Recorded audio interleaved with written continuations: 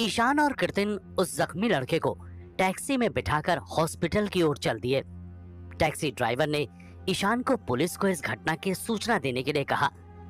इससे पहले कि ईशान पुलिस को इस बारे में सूचना दे पाता उस जख्मी लड़के को हल्का सा होश आया और वो लड़खड़ाती हुई जबान में कहने लगा नहीं पु, पुलिस को फ़ोन मत करना पुलिस को फ़ोन मत करना। और ऐसा कहकर वो लड़का फिर से बेहोश हो गया। ईशान और कीर्तन के साथ साथ अब टैक्सी ड्राइवर भी हैरान था। ईशान ने टैक्सी ड्राइवर से कहा, कोई नहीं दादा, अभी इस लड़के का ठीक होना ज़्यादा ज़रूरी है, ना कि उन बुरे लोगों का पकड़े जाना। टैक्सी ड्राइवर ने ईशान की बात मानते हुए कहा, ठीक है तो आप लोग कसकर पकड़ लीजिए, मैं फटाफट आप लोगों को नजदीकी अस्पताल पहुँचा देता हूँ। ऐसा कहकर ड्राइवर ने तेज़ी से टैक्सी को रेस दे दी। रास्ते में टैक्सी ड्राइवर ने अपना फ़ोन निकाला और किसी का नंबर लगाते हुए बोला हाँ मैं अस्पताल में सूचना दे देता हूँ। हम ऐसे जख्मी लड़के को लेकर आ रहे हैं ताकि वहाँ पहुंचकर समय बर्बाद ना हो। और फिर टैक्सी ड्राइवर ने फ़ोन पर बात कर किसी को सारी सूचना दे डाली। आपका बहुत बहुत शुक्रिया, दादा। ईशान ने ड्राइवर का शुक्रिया अदा किया। हालाँकि ईशान को उस वक्त काफ़ी काम था, लेकिन ईशान ने किसी की जान बचाना ज़्यादा ज़रूरी समझा। पाँच दस मिनट में ही वो सब हॉस्पिटल पहुँच गए। टैक्सी ड्राइवर ने गाड़ी सीधा हॉस्पिटल के इमरजेंसी वार्ड की तरफ़ अंदर ले ली। ड्राइवर ने हॉस्पिटल में पहले ही फ़ोन कर दिया था। इसलिए इमरजेंसी वार्ड के पास एक वार्ड बॉय स्ट्रेचर लेकर पहले से ही तैयार था। वो वार्ड बॉय उन लोगों के आते ही जल्दी से उस जख्मी लड़के को लेने उनके पास पहुँच गया। ईशान और कीर्तन ने बड़ी ही सफलता से उस जख्मी लड़के को स्ट्रेचर पर लिटवाने में वार्ड बॉय की मदद की और वार्ड बॉय स्ट्रेचर अंदर हॉस्पिटल में ले जाने लगा। ईशान ने कीर्तन से कहा, तुम स्ट्रेचर के साथ अंदर चलो। मैं टैक्सी का किराया भर के आता हूँ। इतना कहकर ईशान पीछे मुड़कर जैसे ही टैक्सी ड्राइवर की तरफ़ चला, ईशान ने देखा कि टैक्सी ड्राइवर अपनी टैक्सी बैक करके जा रहा था। ईशान ने टैक्सी ड्राइवर को आवाज़ भी दी, दादा लेकिन ड्राइवर नहीं रुका। बस ईशान को हाथ हिलाकर बोलता हुआ चला गया, तुम्हें कोई किराया देने की ज़रूरत नहीं है। जाओ अंदर, जाओ जल्दी। टैक्सी ड्राइवर को इस तरह बिना पैसे जाता हुआ देखकर ईशान का मन गदगद हो गया। ईशान ने अपने पिछले जन्म में ऐसा नेक आदमी पहले कभी नहीं देखा था। ईशान वापस मुड़ा और जल्दी से इमरजेंसी वार्ड की तरफ़ भागा। वहाँ पहुंचकर ईशान ने देखा कि डॉक्टर कीर्तन को कुछ कागज़ देकर कुछ समझा रहे थे। ईशान भागकर कीर्तन के पास आया और बोला, क्या हुआ? कीर्तन ने जवाब दिया, उसे इलाज के लिए अंदर ले गए हैं। ईशान को आता देखकर डॉक्टर बोला, जल्दी से जाकर हॉस्पिटल की फ़ीस भर दो और फिर इस लड़के के परिवार को बुला लो ताकि वो लोग ये फॉर्म साइन कर सकें। ईशान ने थोड़ा सक पकाते हुए कहा, डॉक्टर साहब, फ़ीस तो मैं भर दूँगा। आप इस लड़के का इलाज शुरू कर दीजिए और रही बात उसके परिवार की तो ये लड़का होश में आने पर ही खुद बता पाएगा, क्योंकि ये तो हमें सड़क पर जख्मी हालत में मिला था। हम इसे जानते भी नहीं कि ये कौन है। ईशान की बात सुनकर डॉक्टर चौक गया और बोला, क्या? तुम इसे नहीं जानते हो? तब तो तुम्हें यह भी नहीं पता होगा कि इसे चोट कैसे आई। ईशान ने डॉक्टर को समझाते हुए कहा, डॉक्टर साहब, हम दोनों सड़क से गुजर रहे थे। तभी हमने किसी को इसका पीछा करते हुए देखा। ये बहुत जख्मी था। और हमारे पास आते ही बेहोश हो गया। इसीलिए हम इसे इलाज के लिए यहाँ पर ले आए हैं। इससे ज़्यादा हमें और कुछ नहीं पता है। डॉक्टर ने ईशान की बात सुनी और बोला, ठीक है, तुम जाकर पहले फ़ीस जमा कर दो। और अगर इसके परिवार को नहीं जानते हो तो पुलिस को सूचना देकर यहाँ बुलवा लो। ये एक पुलिस केस है। और ऐसा कहकर डॉक्टर अंदर इलाज के लिए चले गए। ईशान ने अपना सर खुजाया और सोचने लगा कि अब क्या किया जाए। ईशान ने इस लफड़े के बारे में पहले तो सोचा ही नहीं था। कीर्तन बाहर पानी लेने चला गया। वापस आकर कीर्तन ने पाया कि ईशान संतोष सर को फ़ोन पर सारी बात बता रहा था और कह रहा था, आप चिंता मत कीजिए गुरुजी, जैसे ही पुलिस आती है, हम यहाँ से आ जाएँगे। ज़्यादा देर नहीं होगी। जी। ईशान ने खुद भी नहीं सोचा था कि कोलकाता में आकर वो ऐसे किसी चीज़ में फंस सकता था। ईशान ने अपना फ़ोन काटा और कीर्तन को देखकर मुँह बनाया। कीर्तन ने ईशान को पानी की एक बोतल पकड़ाते हुए कहा, ईशान भाई, आप पुलिस को सूचना क्यों नहीं दे देते? अगर इसे कुछ हो गया तो? कृतिन की बात सुनकर ईशान बोला, हम इस बारे में बाद में बात करेंगे। ईशान और कीर्तन सुबह जल्दी मार्केट घूमने निकल आए थे। फिर बंगला देखने के चक्कर में काफ़ी समय निकल चुका था और फिर यह हादसा। दोपहर होने को आई थी लेकिन बेचारों ने अभी तक कुछ भी नहीं खाया था। चलो, छोड़ो ये सब। पहले चलकर कुछ खा लेते हैं यार। भूख लगी है ना? फिर वापस आकर देखते हैं कि हालात कैसे हैं। अगर सब ठीक हुआ तो ठीक है। वरना फिर हम पुलिस को सूचना दे ही देंगे। अभी हमें दोपहर में सुजाता दीदी से भी तो मिलने जाना है, ईशान ने कहा। जैसे ही कृतिन और ईशान जाने के लिए खड़े हुए, अंदर इमरजेंसी रूम से डॉक्टर बाहर आया और बोला जल्दी चलो और सिस्टर की हेल्प कर दो इस मरीज़ को कमरे तक पहुँचाने में। दोनों भागकर इमरजेंसी वार्ड की तरफ़ गए, जहाँ से सिस्टर मरीज़ की ग्लूकोज की बोतल हाथ में लिए खड़ी थी। ईशान और कृतिन ने जाकर स्ट्रेचर संभाला, जिस पर वो लड़का लेटा हुआ था, और सिस्टर बोली, हमें सोलहवीं मंजिल पर जाना है। लिफ्ट उधर है। चलो। लिफ्ट की तरफ़ देखा तो वहाँ लोगों की भीड़ लगी हुई थी, लेकिन क्योंकि ईशान के साथ मरीज़ था तो सबने ईशान और इन लोगों को पहले जाने दिया। लिफ्ट सोलहवें फ्लोर पर पहुँची। तो सिस्टर ने ईशान और कृतिन को कमरे में दाखिल होने का इशारा किया। ईशान ने उस वार्ड में देखा कि उस वार्ड में दो मरीजों के रहने की जगह थी। सिस्टर ने ईशान और कृतिन को उस लड़के को बेड पर ले जाने को कहा और खुद ग्लूकोज की बोतल साइड में स्टैंड में टांग दी। फिर नर्स ने ईशान से कहा, अभी इसे बेहोशी की दवा दी गई है। इसे होश नहीं आएगा। लेकिन जैसे ही इसे होश आए, डॉक्टर को बता दीजिएगा। और हाँ ये ग्लूकोज की बोतल खाली हो जाए तो बता देना, अभी दो बोतलें और देनी हैं। ऐसा कहकर नर्स वहाँ से चली गई। ईशान अपने अनुभव से ये कह सकता था कि उस लड़के को ज़्यादा चोट नहीं आई थी। ईशान ने कृतिन को कुछ पैसे निकाल के देते हुए कहा, कृतिन, मैं यहीं इसके पास बैठता हूँ। तुम जाकर बाहर से कुछ खाने का इंतज़ाम कर लाओ। बहुत भूख लगी है। कृतिन ने सिर हिलाते हुए जवाब दिया, नहीं भाई, मेरे पास पैसे हैं। आप यहाँ आराम से बैठिए। मैं अभी जाकर कुछ खाने को लेकर आता हूँ।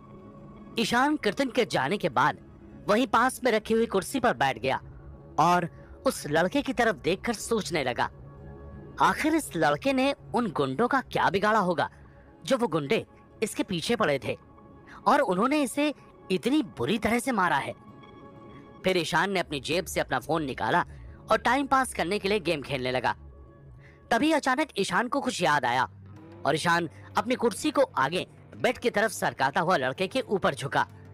ईशान उस लड़के की जेब टटोलने लगा कि कहीं उसके पास कोई फ़ोन या डायरी तो नहीं है, लेकिन उस लड़के की दोनों जेबें खाली थीं। फिर ईशान वापस निराश होकर कुर्सी पर बैठ गया और पीछे सरकता हुआ अपना गेम खेलने लगा। ईशान के मन में आया कि ईशान पुलिस को एक बार सूचना दे दे। ईशान ने अपने फ़ोन से, अभी पुलिस का नंबर बस टाइप किया ही था कि ईशान की नज़र उस लड़के की आँखों की पलकों पर पड़ी। ईशान को लगा, मानो उन पलकों के नीचे कुछ हरकत हुई हो। ईशान ने वापस अपनी कुर्सी आगे सरकाई और ध्यान से उस लड़के को देखने लगा और धीरे से बोला, क्या तुम होश में आ रहे हो? ईशान की आवाज़ सुनकर उस लड़के ने धीरे से अपनी आँखें खोलने की कोशिश की, लेकिन अभी तस्वीरें धुंधली थी। बहुत ज़ोर लगाने के बाद उस लड़के ने इधर उधर देखा और पूछा, मैं कहा हूँ? हॉस्पिटल में। तुम्हें याद है, तुमने हमें हॉस्पिटल ले चलने के लिए कहा था? ईशान ने उस लड़के को याद दिलाते हुए कहा। उस लड़के ने अपनी आँखें दोबारा बंद की और खोली और फिर बोला हम्म याद आया। मुझे बचाने के लिए आपका बहुत बहुत शुक्रिया। कोई बात नहीं, कोई बात नहीं। अच्छा तुम मुझे ये बता पाओगे कि तुम्हारे परिवार में कोई है जिसे तुम यहाँ बुला सको? मैं हर वक्त यहाँ पर नहीं रह पाऊँगा। या तुम मुझे फ़ोन नंबर दे दो तो मैं उन्हें फ़ोन कर देता हूँ। ऐसा कहकर ईशान ने अपना फ़ोन उस लड़के की ओर बढ़ाया। वो लड़का उठना चाहता था, लेकिन उसका शरीर अभी पूरी तरह से कमज़ोर था। उस लड़के ने गहरी सांस ली और कहा हाँ मैं बताता हूँ। ऐसा कहकर उस लड़के ने ईशान को एक नंबर नोट करवाया। ईशान ने वो नंबर डायल किया। जैसे ही फ़ोन उठा, दूसरी तरफ़ से एक महिला की चिंतित आवाज़ सुनाई दी। देखो देखो तुम मेरे बेटे को कुछ मत करना। तुम्हें जितना पैसा चाहिए मैं दूँगी। ईशान को वो महिला किडनैपर समझ रही थी। ईशान ने उस लड़के की ओर देखा और बोला अब आ, आंटी नमस्ते। ईशान की अपरिचित सी आवाज़ सुनकर दूसरी तरफ़ वाली महिला सुन्न हो गई और बोली कौन बोल रहा है? जी मेरा नाम ईशान है। मुझे बड़े बाज़ार की बाहर वाली सड़क पर एक लड़का जख्मी हालत में मिला था। मैंने उसे अस्पताल में भर्ती करवा दिया है। उसी ने मुझे ये नंबर देकर कहा है कि ये उसके परिवार का नंबर है। ईशान ने समझाते हुए कहा तुम तुम यतीन से मेरी बात कराओ। उस महिला ने उत्तेजित होकर ईशान से कहा, जी, उसे बस अभी होश आया है। एक मिनट, मैं बात करवाता हूँ आपकी। ऐसा कहकर ईशान ने अपना फ़ोन उस लड़के के कान पर लगाया और बोला, फ़ोन किसी महिला ने उठाया है और वो किसी यतीन से बात करने को बोल रही है। क्या ये तुम ही हो? लो, बात करो। हाँ माँ, मैं यही हूँ। माँ, मैं यहीं पे हूँ। हाँ यहाँ। एक मिनट रुको। फिर उस लड़के ने ईशान से कहा, आप माँ को यहाँ का पता बता दो, प्लीज़।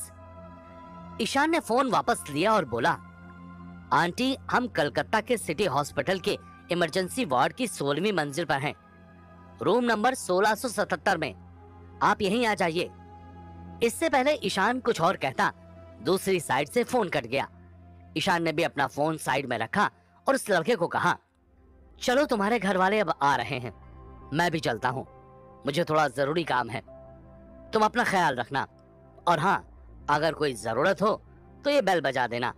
मैं जाते हुए डॉक्टर को बताता जाऊँगा कि तुम्हें होश आ गया है। और सिस्टर से भी कह दूँगा कि तुम्हारी ग्लूकोज की बोतल का ध्यान रखे। कहकर ईशान ने बेड के साइड में लगी, बेल की ओर इशारा किया। उस लड़के ने ईशान से मुस्कुराते हुए कहा, मेरा नाम यतिन दीवान है। और तुम्हारा? ईशान। ईशान ने भी मुस्कुरा कर जवाब दिया। ईशान, तुम कहाँ रहते हो? यतिन ने ईशान से पूछा। ईशान ने कहा, वैसे तो मैं दिल्ली में रहता हूँ, लेकिन अभी फ़िलहाल मैं यहीं बड़े बाज़ार के पास एक घर खरीद रहा हूँ।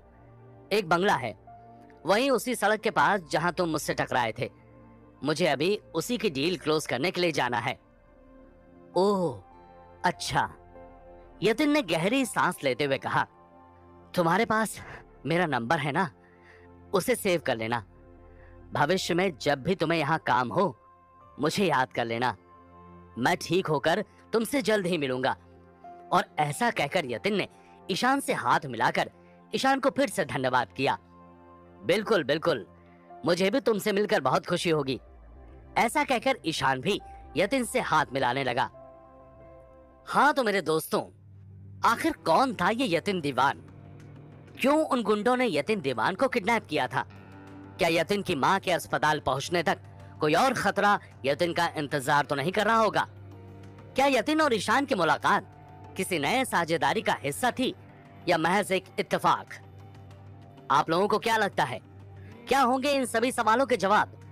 कमेंट बॉक्स में कमेंट करके हमें ज़रूर बताएँ और सभी सवालों के जवाब जानने के लिए सुनते रहिए दोबारा अटेल ऑफ़ आफ्टर लाइफ सिर्फ़ पॉकेट एफएम पर.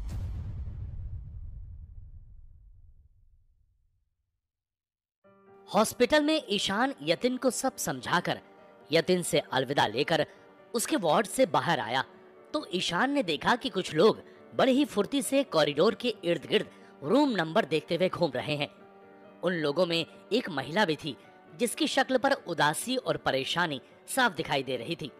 ईशान थोड़ा आगे बढ़ा तो ईशान ने मुड़कर देखा कि वो लोग फट से यतिन के वार्ड में घुस गए हैं। ईशान ने मन ही मन सोचा, शायद ये यतिन के घर वाले ही होंगे। और ऐसा सोचकर ईशान लिफ्ट में घुस गया। लिफ्ट का दरवाज़ा बंद होने से पहले ईशान ने देखा कि उन लोगों में से एक व्यक्ति फिर से वार्ड से बाहर आया और वो ईशान की तरफ़ देखकर मुस्कुरा रहा था। मानो वो व्यक्ति ईशान को धन्यवाद दे रहा हो। ईशान ने भी मुस्कुरा दिया और लिफ्ट का दरवाज़ा बंद हो गया। ईशान जब नीचे ग्राउंड फ्लोर पर आया तो ईशान ने देखा कि सामने सीढ़ियों से कीर्तन हाथ में दो बर्गर के डिब्बे लेकर आ रहा था। ईशान जल्दी से कीर्तन के पास पहुँचा। कीर्तन ने ईशान को नीचे देखकर अचंभे से पूछा, ईशान भाई, आप यहाँ क्या कर रहे हो? ऊपर उस लड़के के पास कौन है? ईशान ने कृतिन के हाथ से एक डिब्बा लिया और पास में पड़ी हुई बेंच पर बैठने का इशारा करते हुए कहा, आओ बैठो, पहले खा लेते हैं। बहुत भूख लगी है। ऐसा कहकर कृतिन और ईशान वहीं बेंच पर बैठ गए और बर्गर खाने लगे। बर्गर की एक बाइट लेकर ईशान बोला, दरअसल उसके घर वाले आ गए थे तो मैं आ गया। अब हम चलते हैं, वो लोग संभाल लेंगे। क्या उन लोगों ने कुछ कहा या बताया है आपको?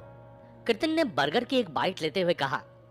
जब ईशान ने इस बात पर कुछ जवाब नहीं दिया तो कृतिन ने उस बात को वहीं खत्म करना बेहतर समझा।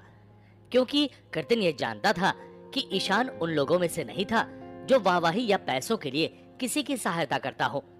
ईशान ने जैसे कृतिन को बचाया था और कृतिन को अपने साथ रखा हुआ था, उससे यह साफ़ था कि ईशान एक नेक दिल इंसान था और वैसे भी ईशान के पास पैसों की कोई कमी नहीं थी।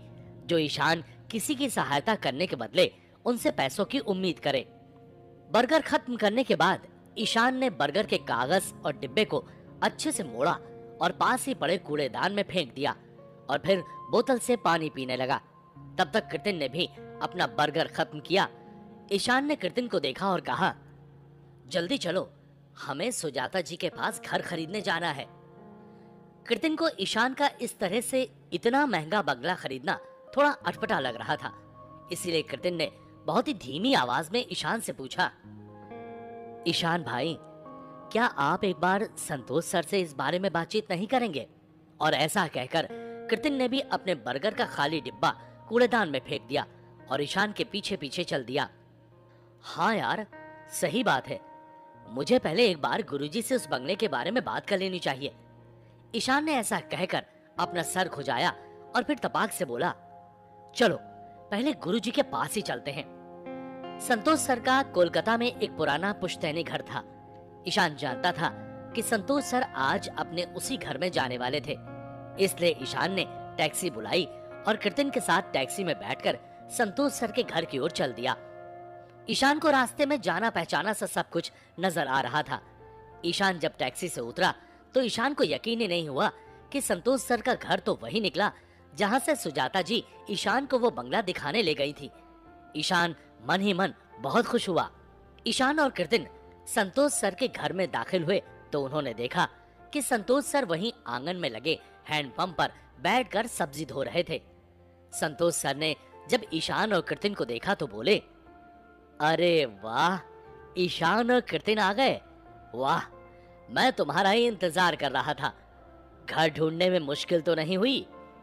नहीं गुरुजी, बिल्कुल भी नहीं। और ऐसा कहकर ईशान ने जाकर संतोष सर के हाथ से सब्ज़ी ली और खुद धोने के लिए जैसे आगे बढ़ गया। कृतिन ने ईशान के हाथ से सब्ज़ी ली और मुस्कुरा दिया। ईशान समझ गया कि कृतिन का गुरु ईशान है तो कृतिन ईशान को काम नहीं करने देगा। इसीलिए ईशान ने मुस्कुराकर हैंडपंप चलाना शुरू कर दिया और कृतिन सब्ज़ियाँ धोने लगा। आपने अभी तक खाना नहीं खाया? ईशान ने हैंडपंप चलाते हुए संतोष सर से पूछा। संतोष सर ने मुस्कुराते हुए कहा, अरे नहीं नहीं, मैं तो लंच कर चुका हूँ। ये तो दरअसल मैं तुम दोनों के लिए शाम को नूडल्स बनाने के लिए तैयार कर रहा था। ऐसा कहकर संतोष सर ने कृतिन के हाथ से धुली हुई सब्ज़ी ले ली और उन्हें छन्नी में रखकर खुद पास पड़ी बेंच पर बैठ गए और फिर ईशान से बोले, तुम फ़ोन पर बता रहे थे कि तुम दोनों ने किसी की जान बचाई थी? क्या हुआ था? ईशान भी हाथ पहुंचकर संतोष सर के पास आकर बैठ गया और संतोष सर को सारा किस्सा सुनाने लगा।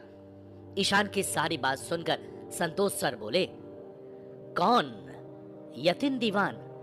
यही नाम कहा ना तुमने?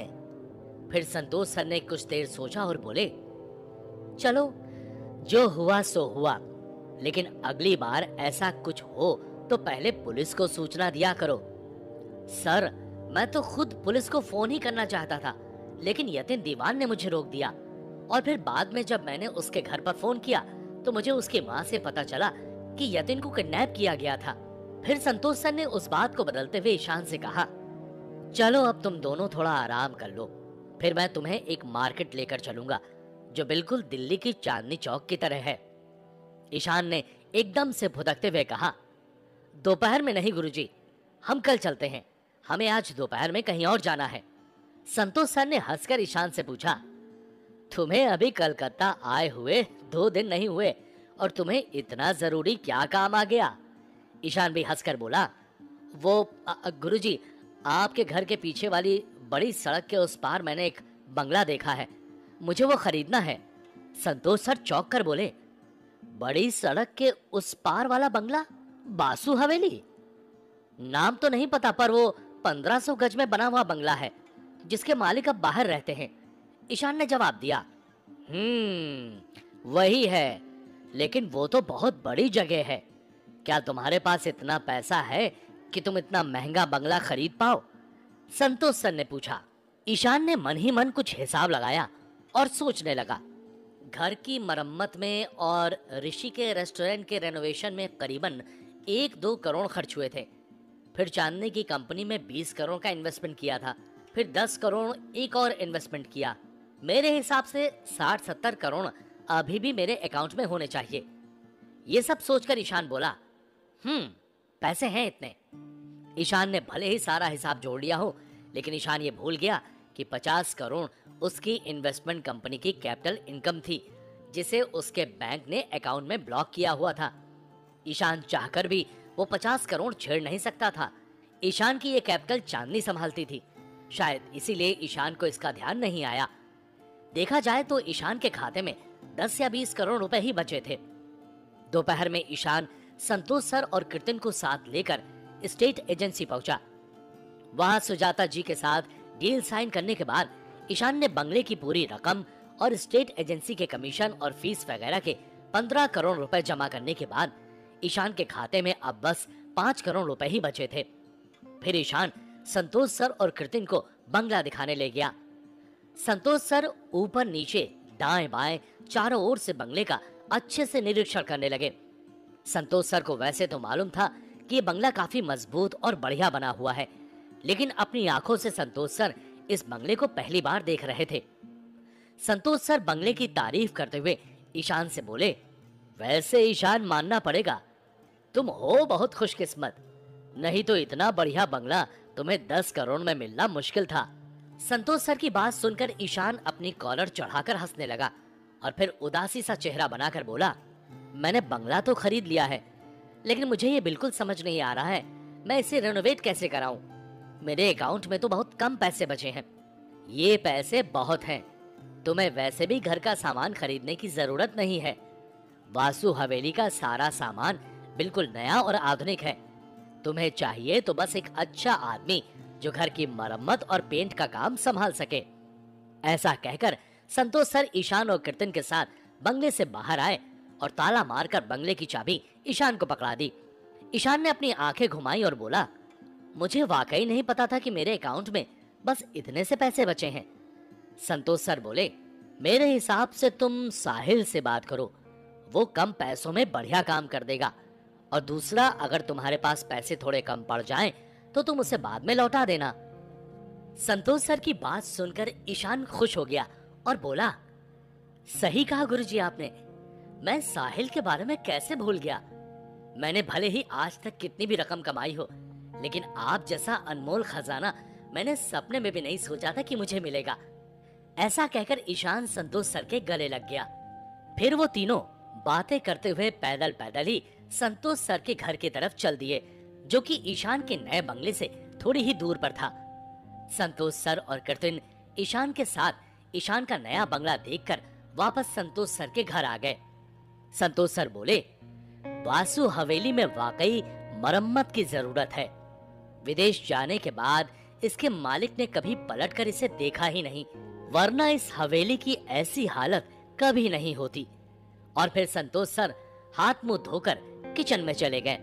ईशान ने अपना फ़ोन जेब से निकाला और बोला, चलो साहिल भाई से पूछते हैं कि वो इस मरम्मत का कितना पैसा लेंगे। और ऐसा कहकर ईशान ने साहिल को फ़ोन लगा दिया।